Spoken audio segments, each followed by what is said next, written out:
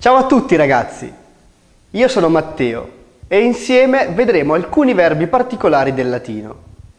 Avete capito bene, ho detto particolari e quindi dovrete impararli a memoria. Non preoccupatevi però, grazie a me e a Repetita ovviamente, tutto vi sembrerà molto più facile. Per cominciare però, ascoltiamo quello che Adriano dice in questo video. Guardate.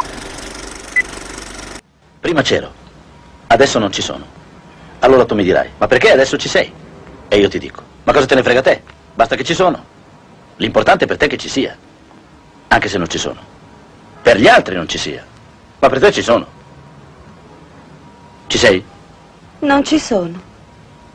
E ora chi c'è? Ci sei tu? Non ci siamo. Bravo Adriano! Avete visto ragazzi? Anche per far ridere è necessario conoscere la coniugazione dei verbi.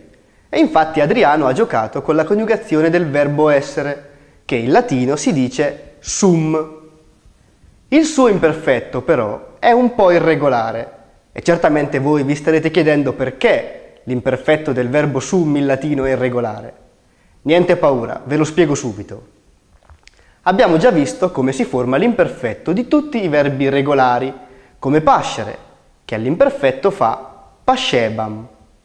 Vi ricordate da cosa è composto?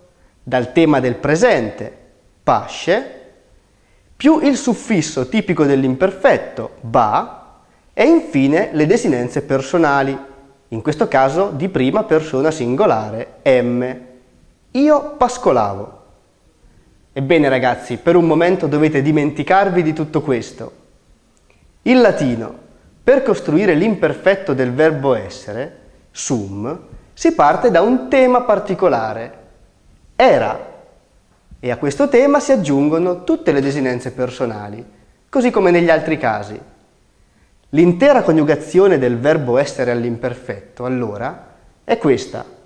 Eram, eras, erat, eramus, eratis, erant. È tutto chiaro ragazzi?